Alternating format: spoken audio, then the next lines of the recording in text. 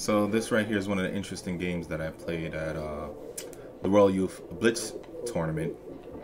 Uh, it was the second one, and the reason why this game kind of very much stands out to me is because the spirit of the truth was in it. God showed his power again. Because you'll watch what happens. There's a particular time. Let me uh, speed through these moves real quick. Oh, I should mute this part as well.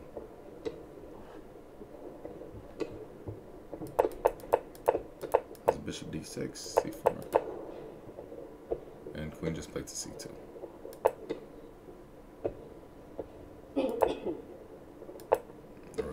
Okay. Let me see if I could uh, mute this part as well.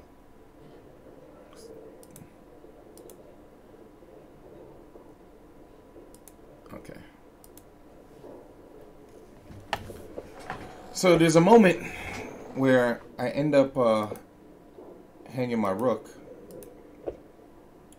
And the crazy thing about it was like, what am I?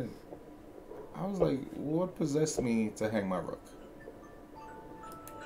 It's my alarm going off for my, uh, telling me I'm to be playing in Titled Tuesday soon. Yeah. So, I was really confused the fact that I hung my rook, you know?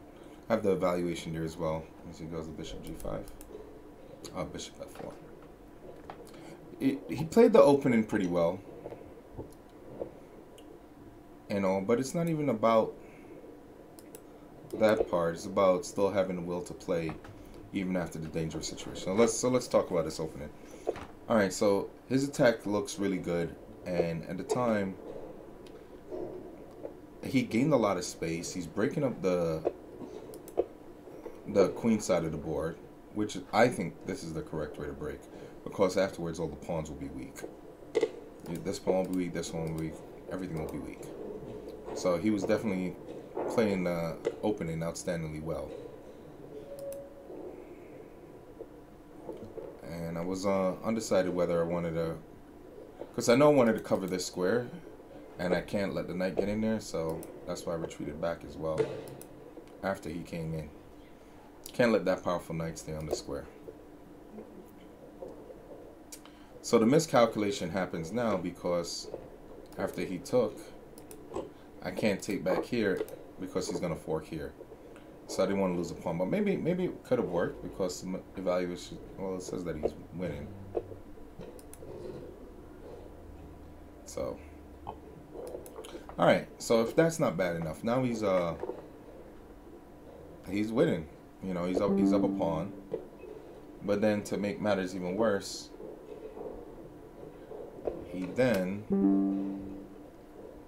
well, I completely uh, make a bonehead move here, which I do not know why I thought it was okay to do that. Giving him a free rook, completely free. Look at my face. Look at what I'm going through.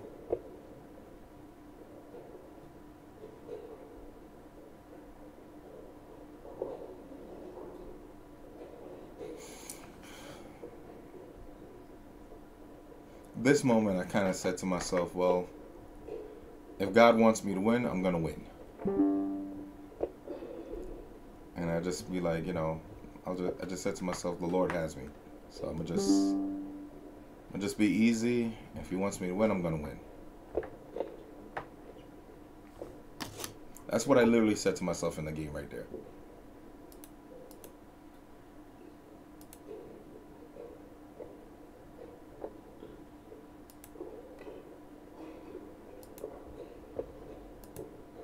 So in the meantime, I'm playing queen c7. I'm trying to get some kind of attack going on the queen side. I could probably bring the knight in and get over here as well. I have all those ideas. And he's respecting every one of my ideas. I see that, you know, I could possibly get this g-file open, which is always a favorite attack of mine.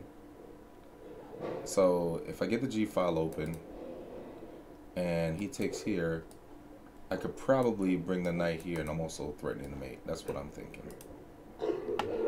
So I'm thinking all this time, you know, I'm not gonna let it all be on its own. So G, and then I could probably bring the queen over. You know, I'm thinking all these ideas. So he respects the fact that I'm gonna open the file and moves the king over. Okay, you see a pin coming on pin, and again, same idea. I want to be able to get a knight in to uh, do something over here.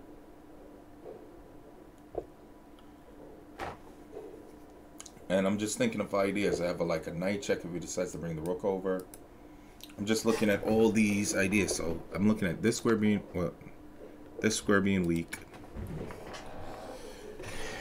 and knight get into the square hopefully. So he realized the knight's becoming a problem. So he decides to kick me out. Yeah, he's trading, trying to trade off pieces, which is exactly what you need to be doing in this particular situation. He's up a whole rook. Trade off, and then okay. I'm seeing, beginning to see that I might be able to create some ruckus. I'm seeing the idea of the knight coming here and doing a check like that, or the queen coming over, and just trying to set up as much ideas as possible. He's bringing the rook in. And then I'm like, okay, if I could come in here with the queen and I'm threatening mate, and then if he responds to then this knight could come in and possibly play a check here. So that's what I, I calculated. And now I'm looking at like, it's going to be really hard for him to deal with this because if come in and I play a knight check, he's going to have to take with the pawn. And then if he takes with the pawn, then I'm going to play queen check. And after queen check, he blocks with the bishop, and then I'm to take, and then it's to be a mate. So he plays that, not seeing everything, and I just double check now to make sure. Play the knight check, and look at the relief on my face.